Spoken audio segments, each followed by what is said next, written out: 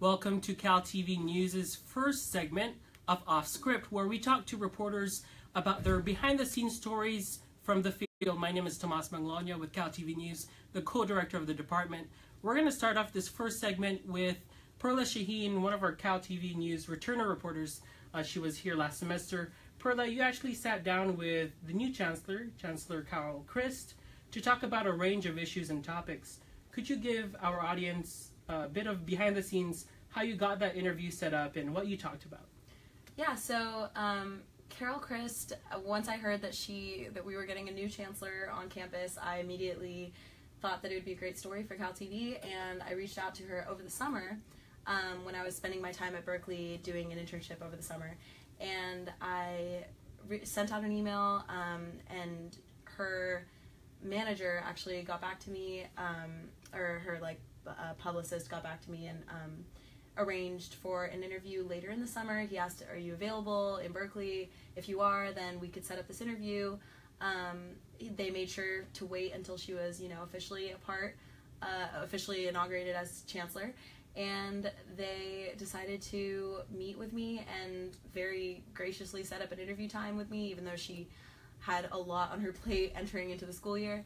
And um, so yeah, I, I, met with her in towards the end of August. So um, I made sure to wait till fall to produce the video because I wanted um, to be able to publicize it on campus and when the school year started. So when students were coming back and you know hearing about the new chancellor, and they'd be more intrigued about you know a video um, to know more about her. And so basically, I really wanted to when I met with her. Um, she was just so interesting. She's a very strong character and very easy to talk to, um, and she really does have the best interest of Berkeley at heart. I think she, um, yeah, she was just very. She's very. She's been very involved with Berkeley, and so we kind of talked about her past experience and. Um, you know what she what her priorities are as chancellor and what she really wants for the student body um, because there were you know some students who expressed concerns about you know Dirks and his priorities, and so um, yeah, I just wanted to get to the basis of like who she was and what her intentions were for the student body, and yeah, how she planned to deal with controversial issues, um, specifically with like Free Speech Week and things like that. I'm glad you mentioned that because uh, if you if the viewers don't know, Perla's uh, uh, actually produced the story in a two-part series, and so the second part of the series, which we'll share on this post later today so that you can watch it yourself, is uh, her specifically addressing the issue of free speech. Now, we all know that is controversial. We are supposedly at the end of what was supposed to be Free Speech Week. Uh, what was it like talking to her about that that issue, and what was the takeaway from that conversation regarding her outlook on this free speech year? Yeah, so she is um, very much a proponent proponent of free speech, um, as we would hope for that.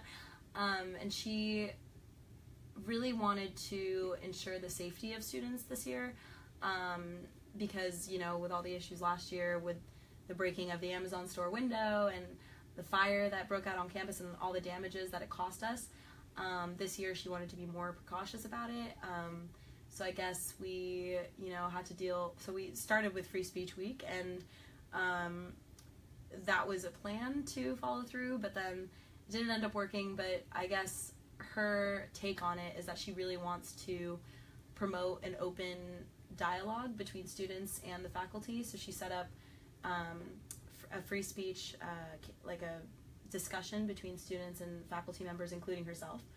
And she plans to continue that discussion along the year, from what I, um, from what I got from what when I talked to her.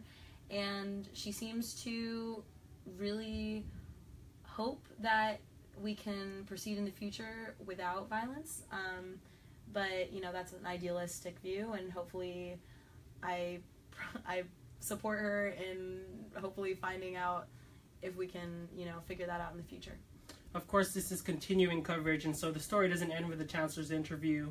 Uh, we've also spoke to people from ASUC, Senator uh, Juniper Angelica. She talked about this Facebook Live with us. Um, so definitely the conversation will continue. We thank you so much for that interview and the, the insight that you provided us with that.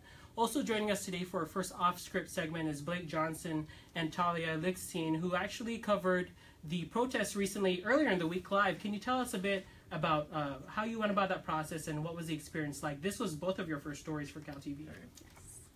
Yeah, so um, pretty much we knew that Free Speech Week was coming up, and so we wanted to go out there and report. Um, it was a little bit nerve wracking that our first video, at least for me, I think Talia, um, Yeah. probably the same, that it was our, our first video was a live video, but um, I think it really was a great way to like throw us into the field. Um, you know, the climate of Sproul and um, the protesters that were against Milo coming and the potential Free Speech Week, and then the, um, you know, the supporters. It was a really interesting uh, climate, I guess you could say. Um, and so pretty much we got out there. Um, when Tolly and I arrived, it was probably uh, I think I think Milo was supposed to start at twelve, and we got there around eleven forty-five, and there were police already blocking it off. So we had to go all the way around the block. So it was it was really um, like Perla was saying, like uh, Chancellor Christ um, really did like there was a lot of effort put into it to prevent it. Um, Well, entire the entire part of Sproul and even cases of Lower Sproul were shut down. yeah. And it was also, I, I believe I was hearing, it was also problematic to some students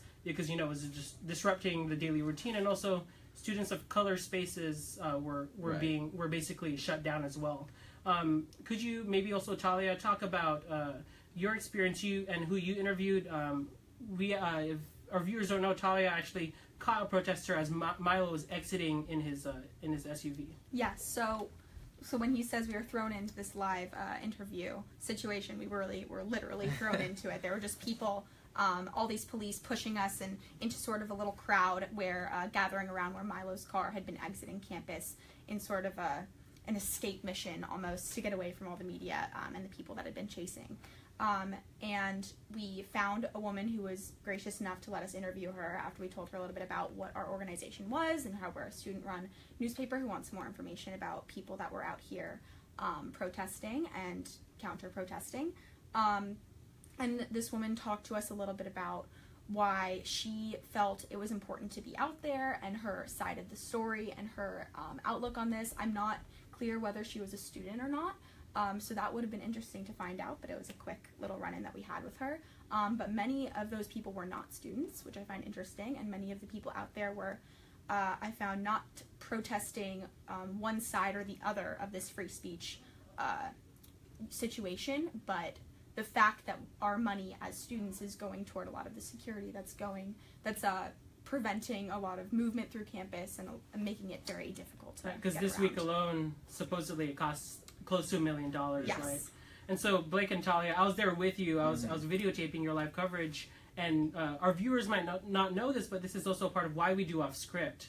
Uh, we did see someone get arrested who supposedly, at least when we were eyewitnesses there, really was just doing his job. Do you mind explaining, Blake, to our viewers what that was? Yeah, so um, Talia was filming a live video, and Tomas and I were um, were standing there, and we're right in the middle of a crowd, so it was really overwhelming. There's a lot going on, and there's riot police pretty much everywhere, and we see this um, African American male following um, uh, like an actual news reporter. I, I'm not sure which channel, and Uh, I believe Um, it was KPIX, okay, CBS.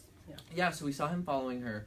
Um, later, we find out Tom Tomas knew this, but he was a security guard for the news channel. But the the police misinterpreted why he was following her, and so um, they like grabbed him and they were really aggressive with him. And all of a sudden, I see them pulling out the um, the zip tie handcuffs, and they're like handcuffing him and you know just being really aggressive with him. And we are I I was like, oh my gosh, like this is like so intense, you know. And then you later told us that um, like his affiliation, and it was like, oh wow, like you know, there's so many other people that you know could have potentially been a bigger threat, and then he was the one that was shown. So it was interesting to see, especially like just um, like the climate of the protests and like everything that's going on, and then they chose to, you know, do something about him. So it was really interesting to see. Right, and just for more context, we actually did speak to the reporter Mhm. whose security guard this was, and so he was a private security guard. He was former, I believe, uh, he was a private security guard in Richmond, and uh, luckily, I would say it. You know, of the best that we could make of it, they got everything on camera on their end. Now, I did try to reach out to them and see Mhm. online if there was any updates. I couldn't find any, but we hope that really, whatever the situation is, uh, that it's treated, you know, the way it should be. Of course. Um, but that definitely is why we are doing off script to to let you know uh, these behind the scenes stories. And just real quick before we wrap up, uh, Perla, um, uh, when you interviewed the chancellor, she also touched on the food and housing crisis. Yes. And uh, a story that I produced, and again, we'll be sharing all of these stories after this segment. Uh, she talked about the food and housing crisis, and could you maybe just give a brief uh, explanation of, of what she talked about, and then uh, we'll go on about talking about the uh, ASU's, uh, ASUC's town hall. Yeah, so currently um, UC Berkeley is dealing with a extreme deficit um, because of overpopulation and um, you know it's a public school you have to accept a certain amount of students from certain state and other areas so um, she's dealing with the overpopulation of students and therefore we have an issue of um, lacking we're lacking housing for those students and um, you know there's not enough for the, the population that's on campus. And so she's hoping to solve that um, by, you know, creating more facilities available for students. Um, and she kind of discussed that a little bit. Hopefully, we'll see that she'll follow through on those actions and those promises. Um, but yeah, maybe we could solve that. Definitely. And so, as I was sharing with you guys, as we do show reviews every week at our meetings, the ASUC Executive um, uh, EAVP uh, office held a town hall and Congresswoman Barbara Lee was, you know, treated as the headliner. She she is a well-known person here in California and really across the nation.